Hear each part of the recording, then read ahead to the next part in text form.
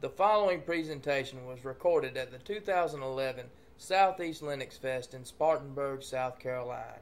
It is licensed under a Creative Commons license. For more information about the Southeast Linux Fest, visit www.southeastlinuxfest.org. The Southeast Linux Fest would like to thank the following Diamond and Platinum sponsors in 2011 for helping make these videos possible. Everyone, we're going to have a demonstration by Chuck Payne on the OpenSUSE, or or SUSE Studio. Chuck works for a software company down in Atlanta and is an ambassador for OpenSUSE. So, everybody give Chuck a hand here. Tucker's got the microphone.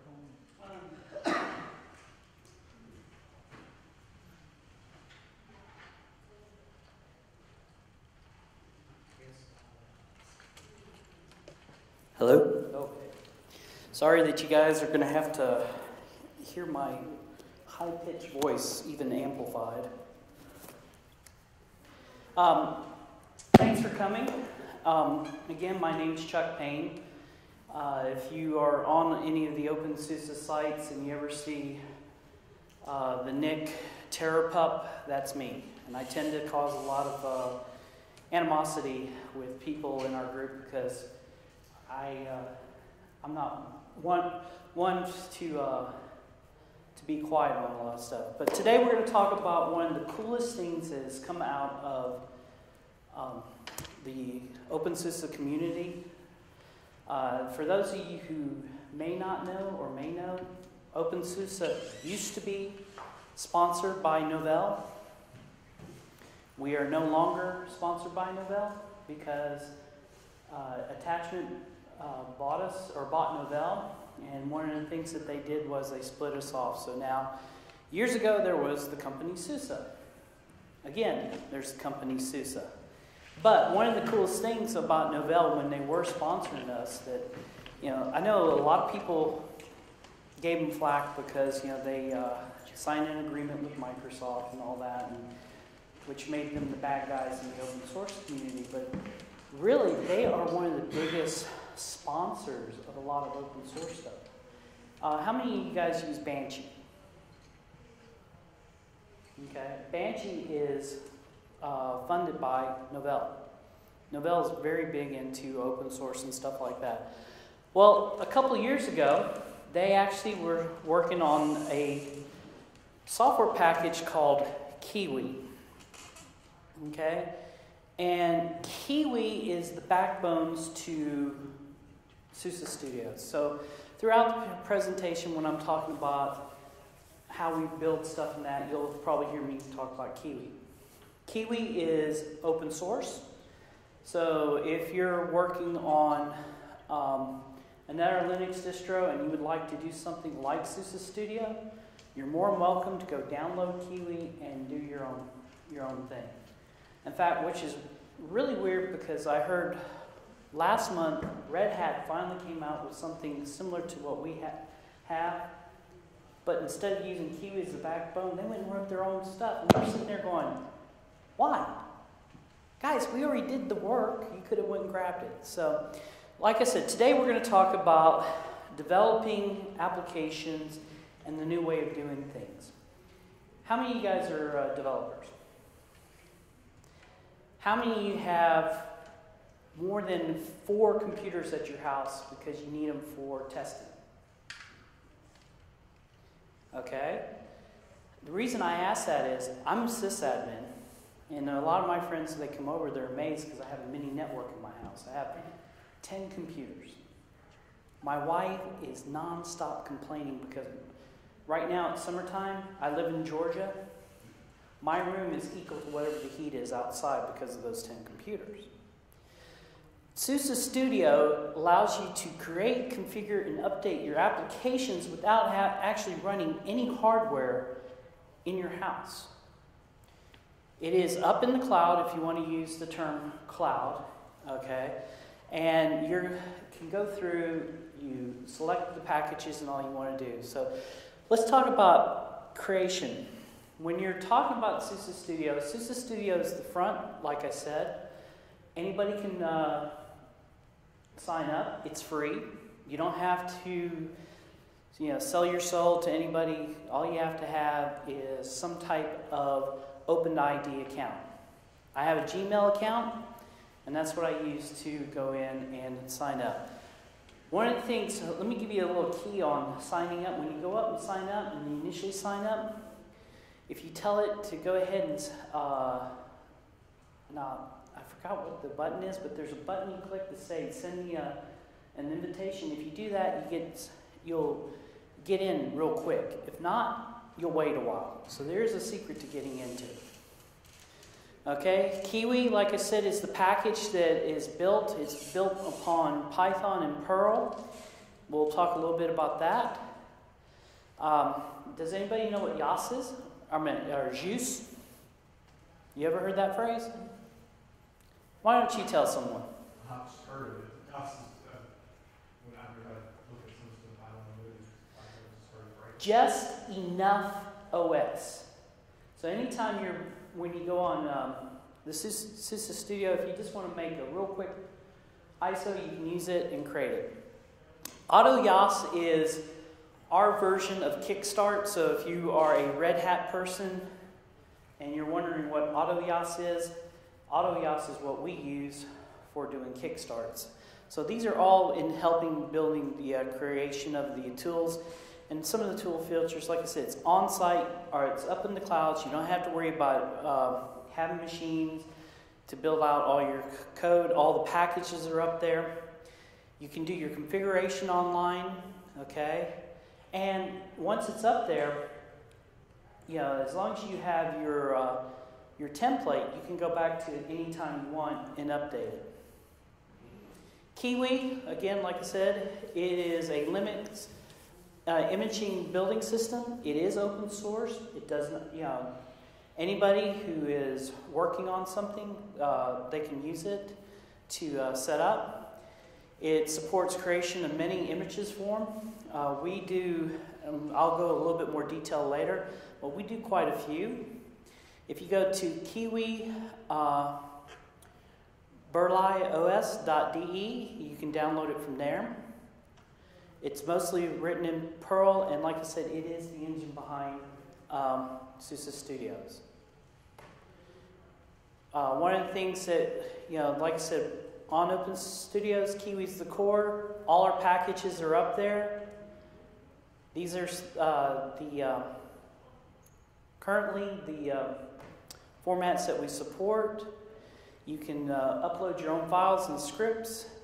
And it's very easy if you know how to use XML to go through and configure it. So let's talk what you guys came to hear about SUSE Studio. www.susestudio.com. There's uh, Distra. Our, that's the logo for our uh, for SUSE Studios. When you come to the page, you'll see nice little settings like this. A little brief uh, what's going on, talking about awards. One of the cool things is this doesn't have a picture of it, but they have the uh, gallery. If there's something you're looking for, someone's probably already built it. We have so many people using this. Last year we had a contest to see who could build the best applications using SUSE Studios.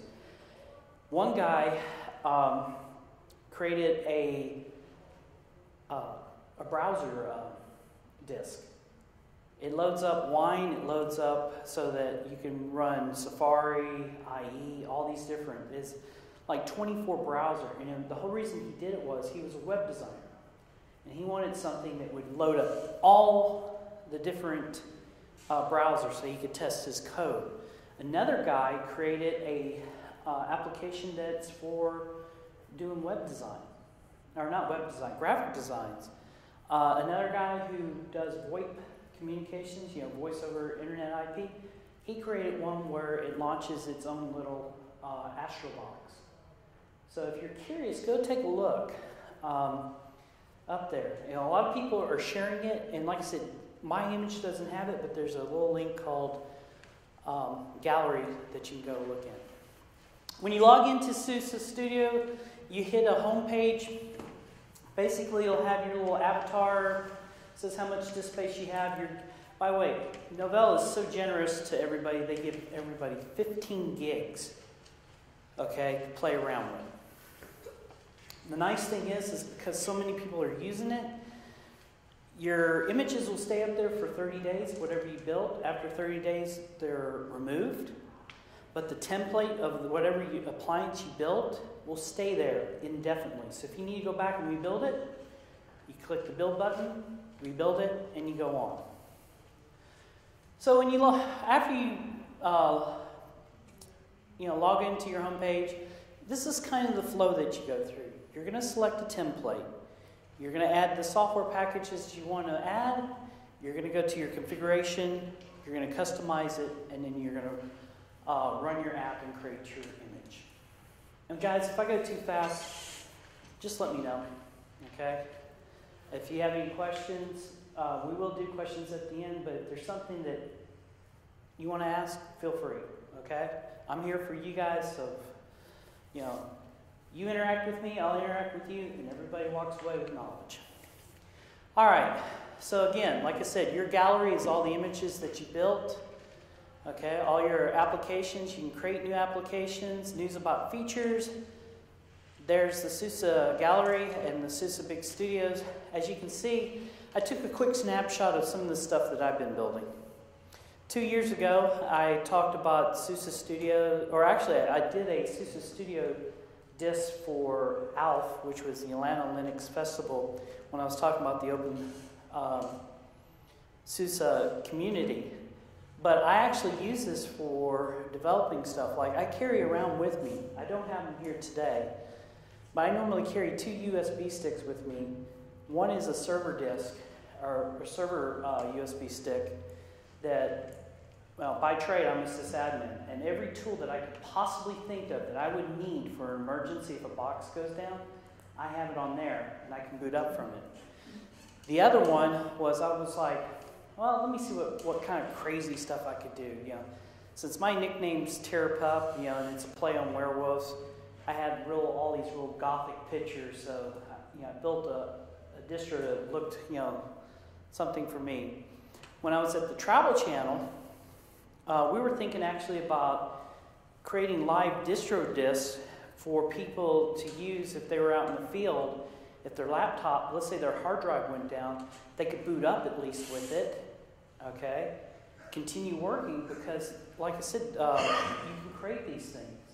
And we almost had it done. Um, I was amazed that uh, at first they were kind of hesitant, but after showing them a couple details of what we could do and what packages they need, they were pretty cool. Your templates. Um, we do have OpenSUSE 11.14 um, up there, which is our latest and greatest demo. If you are one who, who wants, uh, if you're writing stuff for the Enterprise Edition, SUSE Studios is very nice at the fact that we say, hey, we're going to give you the uh, OpenSUSE um, software up there, all the packages for it. And we're going to give you SUSE Enterprise Linux. Okay? So you can go through and pick both of those.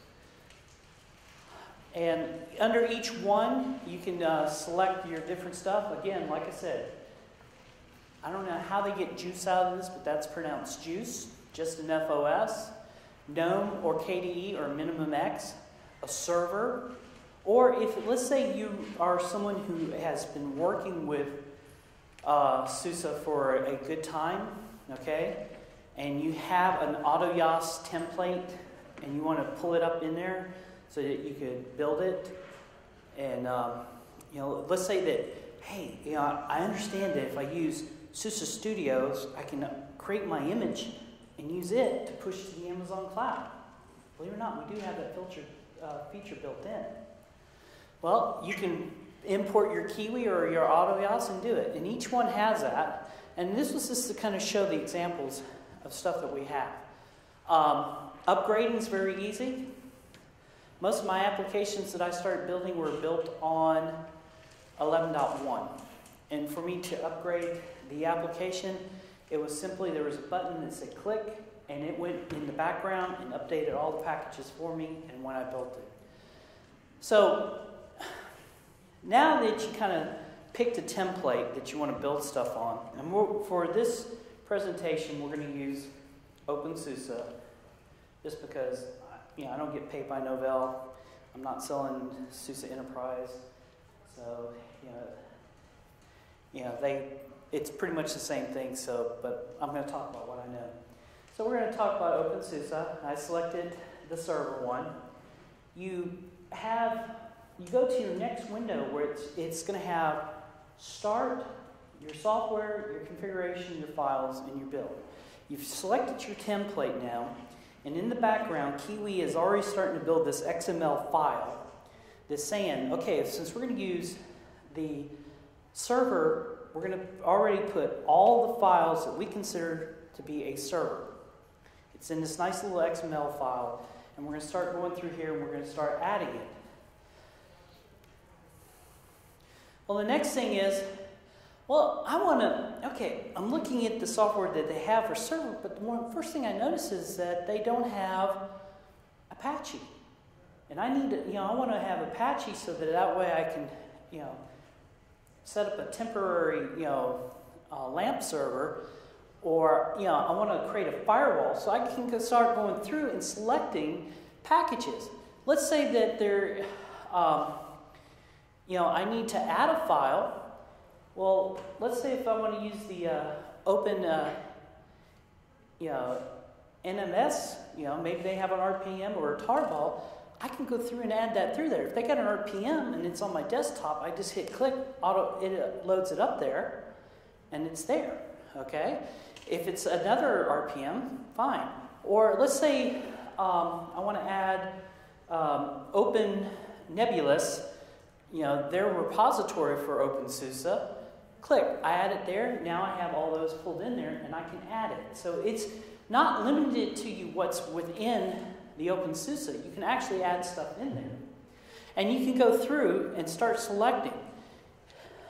Um, SUSE Studios is also trying to make it very easy if you've never worked with uh, software, okay, or never designed a distro. It's going to keep making um, recommendations. Now, one of the things that I don't have a picture of over here, if you ever make a mistake, there's a little red box that's going to pop up and it's going to say, stop. Can't go any further because you have conflicts.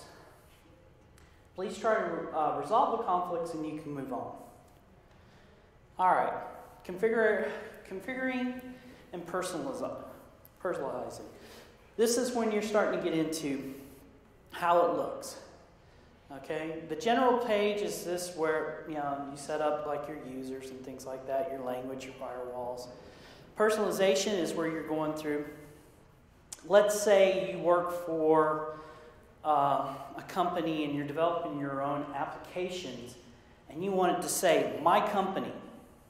Well, you're welcome to load up your own image as the background, so when it boots up, your customers see it. The only thing that you'll never be able to get rid of is the little logo that said it was built by SUSE Studios. But you're welcome to customize it any way you want. You can upload, upload your own logo and your own distro, I mean your own wallpaper and all that stuff. Once you kind of went through, set up your language, your users, your firewalls, and all that stuff, and we uploaded the images, you know, we've done that customization. You now can come and set up um, what stuff you're going to use. Are you going to have, you know, if you're a LAMP guy and you want to give someone a live distro with your version of some cool PHP app that you created and you only want to run on this live distro, well, you can load up your uh, SQL database. If you want to use Postgres, you can use Postgres. If you, you can load up, upload a, a SQL dump or a dump file, and then you can add the username and password. Again, in the background, as you're doing all this, Kiwi's adding to your file, your XML template that you're going to be using for building. Okay? Next, you're going through and you're building it because keep in mind, since you are building, you know, a an application on top of this um, distro, you have to kind of tell it stuff like, Do you want to auto log in? Do you want to auto start programs? Okay, like here, okay, good example. Here, have you ever used Knoppix? Have you ever used one of the other distros live disk? This is essentially what you're doing is you're building your own live disk. So these are things like if you wanted it to launch GNOME or KDE or let's say you want to use Xfce as your default window manager and you want that to automatically log in, well that's where you're setting this stuff up. Disk size and memory, okay? You can set that up. And like I said, if you look here, and it tells you what you're setting your memory up. If you're using this for um, Open um, VN or VMware or Xen or KVMs, you set your memory there.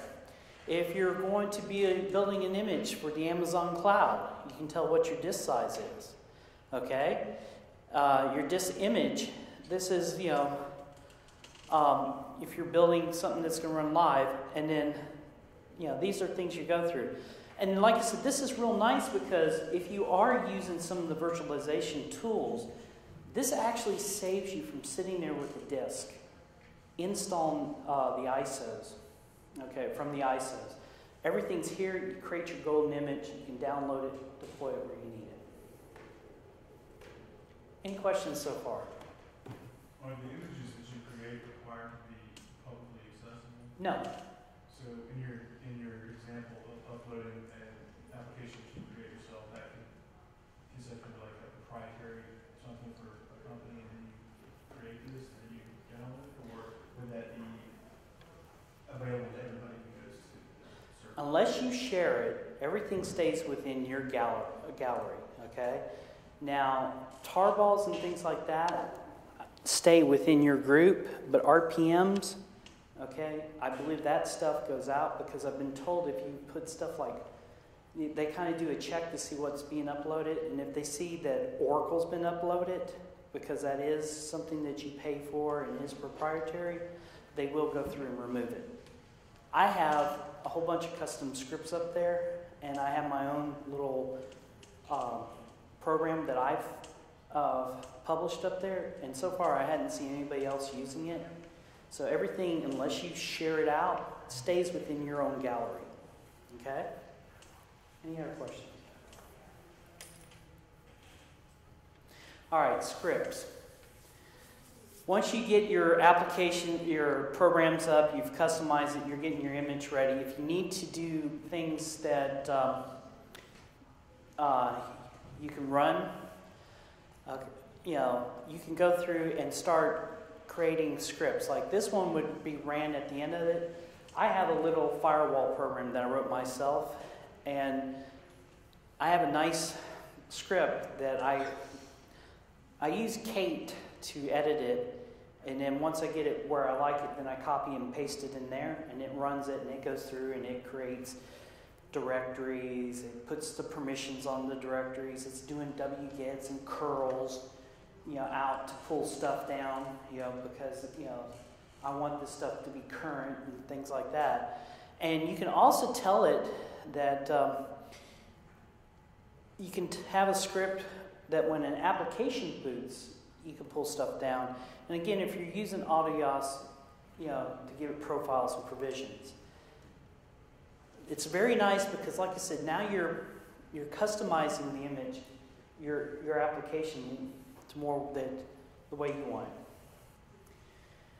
Files, like I said, any files that you ran, you were asking about that. Um, they upload and they stay there. And like I said, I do. I go out and take a search, and I haven't seen these, and they stay up here.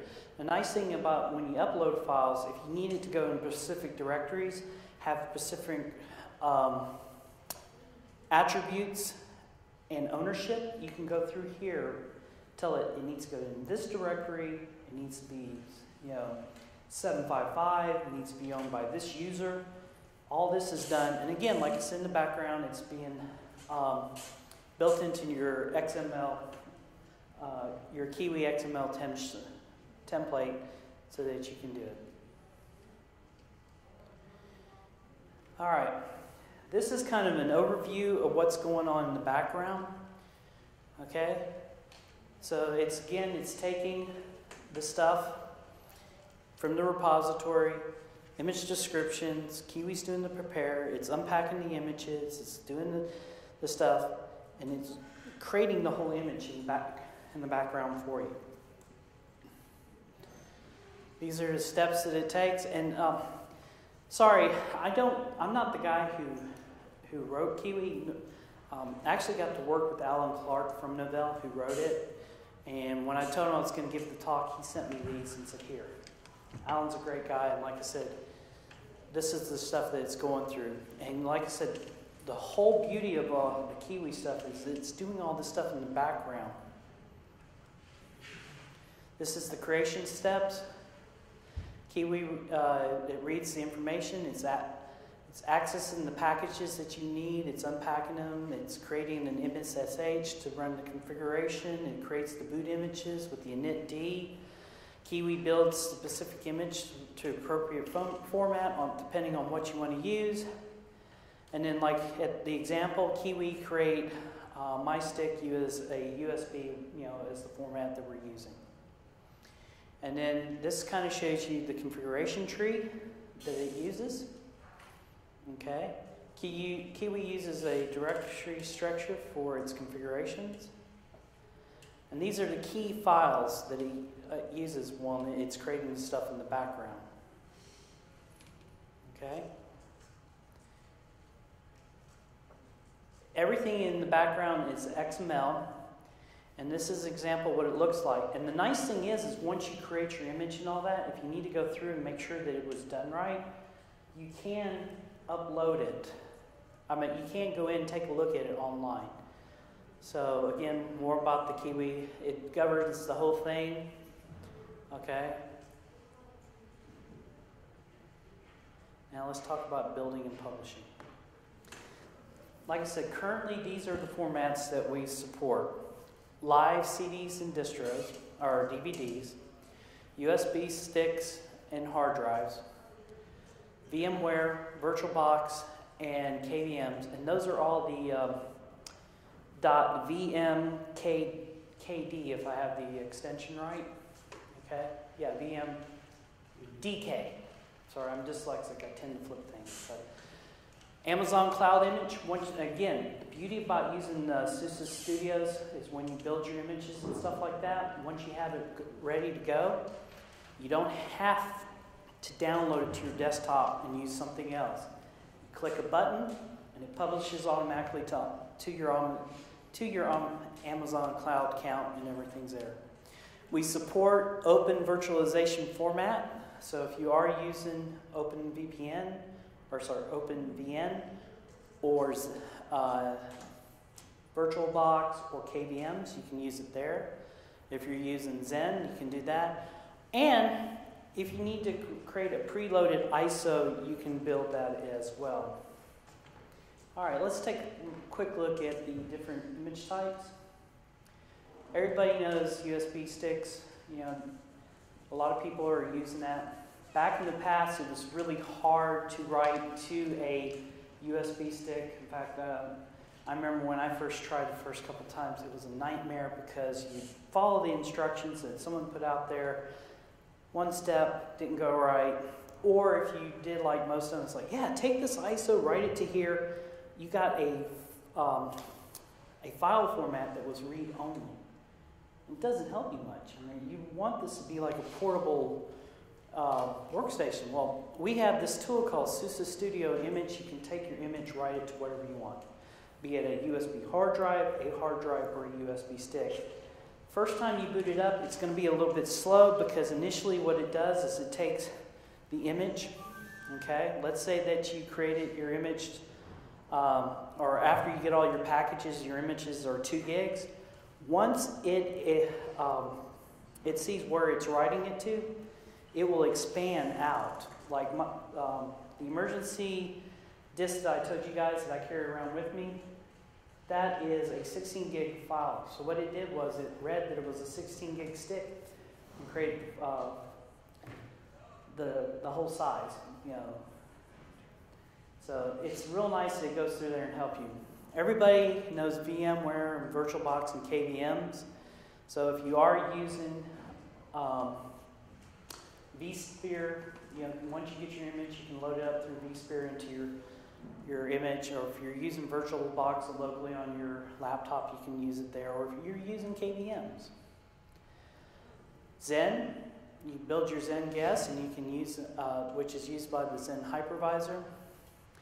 The open uh, virtual format, you know, VirtualBox is one of these, and like I said, Open uh, is another one, and it creates it where it's very easy to deploy.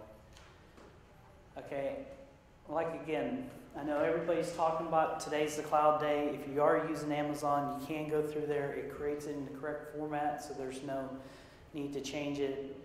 And again, preloaded ISOs are great if you're someone who's managing a computer lab you need to roll out something, or if you're using like AutoYaST or you know Kickstart and things like that. Building. After you've gone through, played with it, and things like that, um, you can load it. In fact,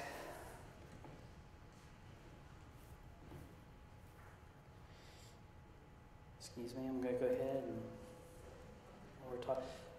Um, you can press the button, it builds, and um, if you're using Chrome, we actually even have a service that will alert you when it's done. But like I said, you pick whatever your default image is going to be, and you build that. And once you build it, the nice thing is that, like I said, and the whole reason I was talking about building your application in the cloud is once you build it, you don't have to burn it to anything to play with it.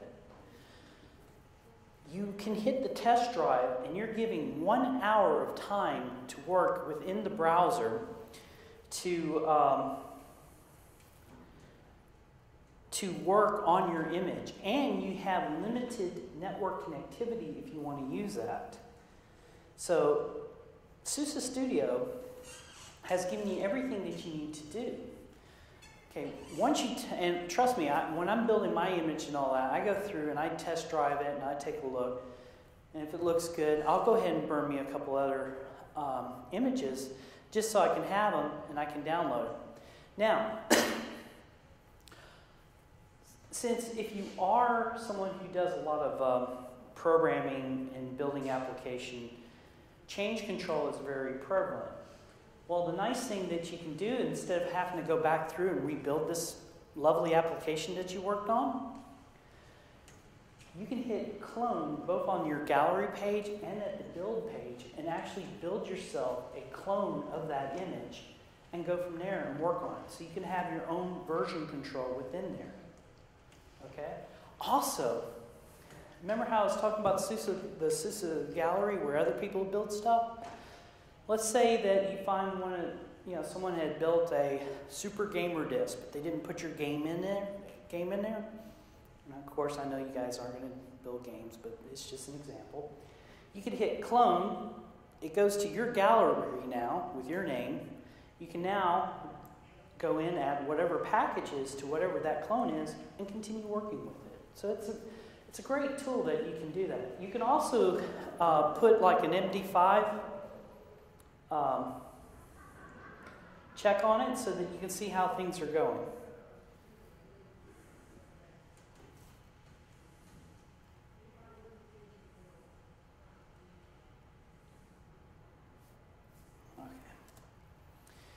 Again, like I said, test driving. If you need to go through your virtual windows, you can go through F1, F2, F3, there's your F7.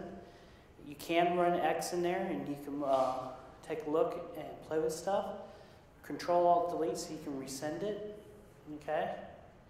And while you're there, you can even modify files. It's real beautiful. On the page that on the build page, there's a thing where you can click and take a look at your files. So if you're curious what's going on, you know, let's say you loaded up something but you're not sure why it didn't get there. Well, you can go into the configuration file. Oh, by the way, every image that you built, there's a new directory on your slash called Studios, and everything that's going on with your build will be there and it'll be up underneath that uh, config doc, XML, so you can take a look at it. You could actually take that XML, save it to your desktop, edit it, and use that later to import it and build another application. Let's say now that you've built an application and you think you have the next thing to be grateful, you know, for mankind. You've created a new um, distro that you think is very nice. Share it. That's when your stuff, like you said, that you know you have something that's proprietary, but you don't want people to say it. As long as you don't hit the share button, it's fine. Oh, one thing I didn't mention back on the configuration page. let's say you do share it you can put your own end user license governing whatever software you put up there so that way you're covering yourself. You know this is the open source version of it. Here please read this end user agreement. Click blah blah blah to continue. So you can add that into your build okay? You can link your blog into it so you, you know when they're reading your blog and they want to go download it they can you can certify that this application is what I wrote. And you go through and you certify it, you fill out all the stuff. So that way, if I'm saying, hey, here's my open browser disk, I've certified it, certified it. If somebody else named TerraPup264 is saying this is theirs, and they don't certify it, you know that mine has a certification, it's legit. Okay? And then once you do that, you can do version controls on it so people know that what's the latest and greatest. And it gets listed out on the gallery so everybody can go take a look. This is, you know, the browser box is the one I told you. So when you share it on SUSE Gal- Gallery, you know, it's up there. It has your uh, all your stuff. You have a brief highlight of it. Who's it by? Where they can take a look, and all that stuff. And like I said, you can also um, I don't I haven't played too much with sharing. I need to, but I think you can tell it where you don't if you don't want people to clone your stuff, you can tell it not to. But for most part, since it is open source, source copy left, people can go through and use your work. Cloning, like I said, I've talked about it briefly. Great way for version control great way to take someone else's work, make it your own. And throughout the, when you're building stuff, you will see where it says clone this application, and you just click on it and go. All right.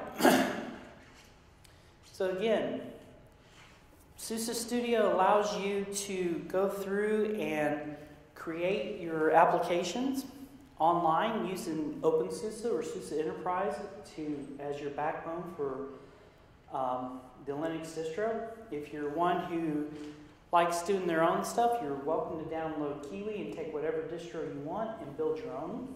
Um, the, before Red Hat released theirs, the only other one that I was aware of was Slackware had one out called Slax, S L A X, where you could go and build a live distro and stuff like this using Slackware packages. Actually played with it. It's, it's pretty nice. If you're interested in Kiwi, that's the webpage to get it from. Again, it's easy access if you have any of these open IDs. In fact, now there's even more. Um, you can see that. These are references for Kiwi, you know, where you can uh, get stuff. You know, there's the SUSE Studio stuff. And if you ever have any questions, we have the mailing list, and every, everybody is free to mail um, uh, users at opensuse.org and ask questions on it. And if you're on uh, Freenode, there is actually a SUSE Studio chat room that you're welcome to go into and ask questions. All right, any other questions? Yes. SUSE Studio itself free software? SUSE Studio itself is free. You can use it. Uh, if you are wanting to uh, use it for um, commercial, you know, you would need to buy. There is a commercial version of SUSE Studios that um, that uh, you can purchase so that, like you were talking about earlier about proprietary, you could buy this commercial version, run it within your own shop, build everything on there. That never goes out to the public. It stays within it, and you can customize it to any way you want. Um, I just brought this up, so real quick, I wanted to show you guys. If you have any of your images that you built, and I, will answer more questions, uh, you can go back through here. I'm sorry, I'm using my Verizon phone right now. Um, you could go through there and anytime go back and rebuild it, and you can upgrade it. See, like, I've already upgraded mine to 11.4, but if I, let's say I'm having compatibility issues, this is a new feature. You can actually downgrade it online. And you don't have to go through all the steps. Let's say you just want to, oh, I'll show you some of the customization, know, personalizations. You can load up your own images and it kind of shows you what it's going to look like.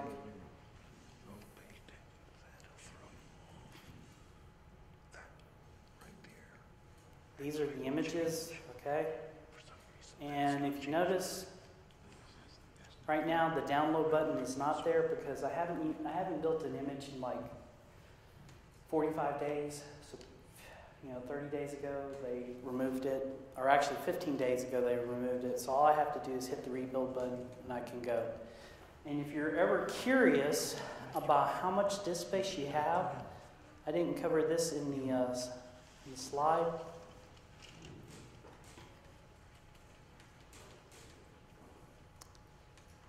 Uh, used to be on your front page. Let me go back into here. It actually has a little meter bar that shows you how much of your 15 gigs you have. Any uh, other questions? Sorry, this was just some new stuff I wanted to show. Did I put you guys to sleep? Yes. Yeah, you can have a hundred applications can be infinite as long as you're using it within that. Uh, you know, the 15 gigs, okay? Like, um, just to show you guys how long stuff stays.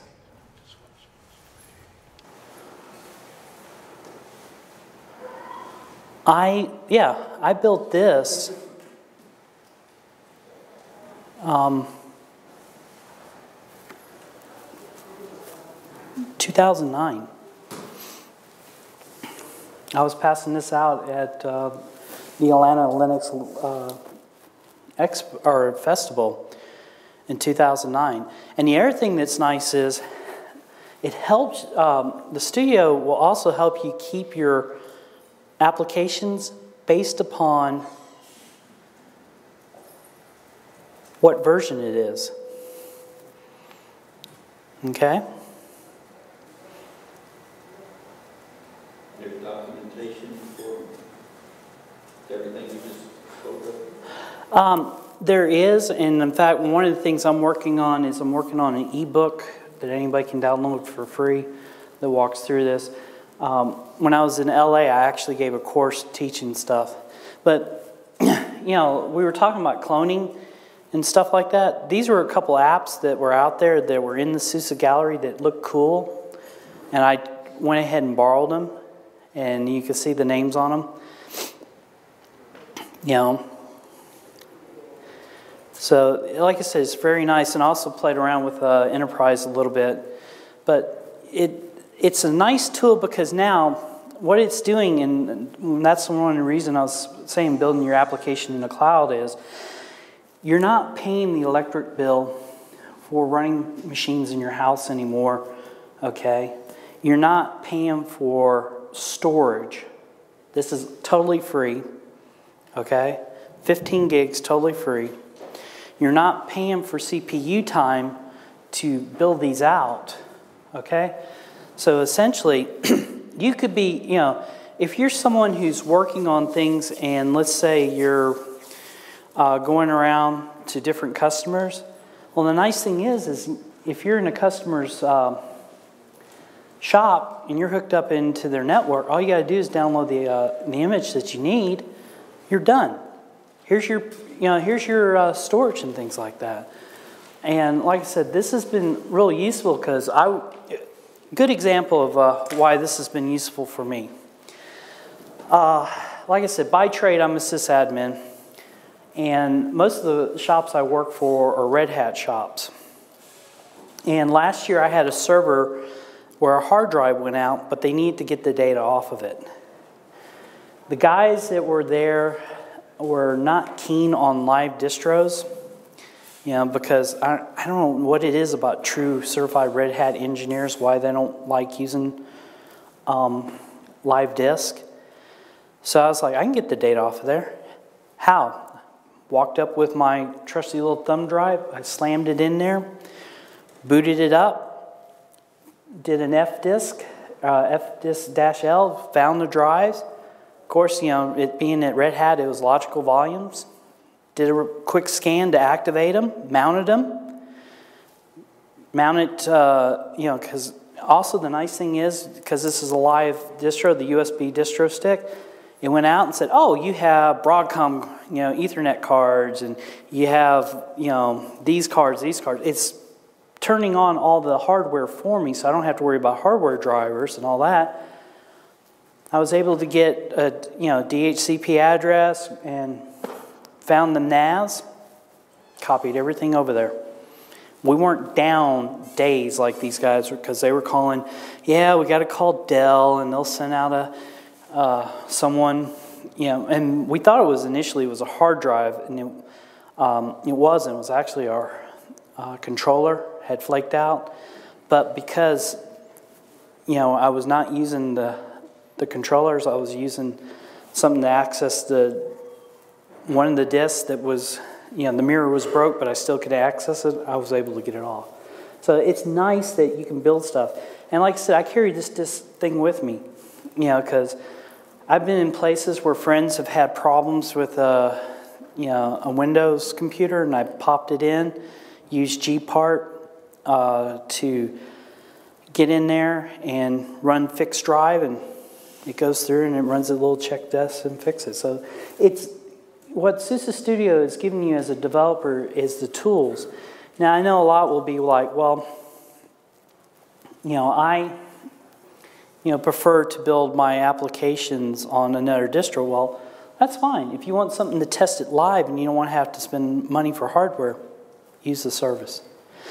One of the other app, uh, applications that we're very proud of at OpenSUSE, in fact, this year we changed the name. It used to be OpenSUSE Build Services. And if you developed on Ubuntu, KDE, or Red Hat, or Arch or any of the other distros, we allowed you to build your application up in there. And again, it's up in the cloud. And if you wanted to take your package and then design it to build out for other distros, all you had to do was click a different button and it built the package out so that they can be installed on there. You can then take it and on there.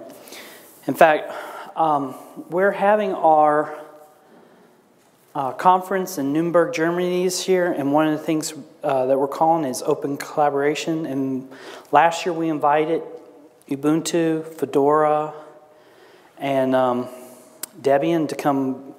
You know, it's even though it's an open source conference, we said, "Hey, come share with us." At first, they were kind of like, "Really?" They're kind of scared. But this year, there a lot of people are coming. Any other questions? So the thing, is this build services thing and this, is there a level of integration to where you could say, okay, whip me up the live CD with something all fresh off the build farm in, in conjunction with these? People. I believe you can if, if you know, I, and I'll check with someone, is I believe there is a um, repository link to the Open Build services. So if you can get the repository link from Open Build, you can uh, again, under the package page, add it there, and then pull in the packages that you need. So yes, we are trying to make it totally integratable.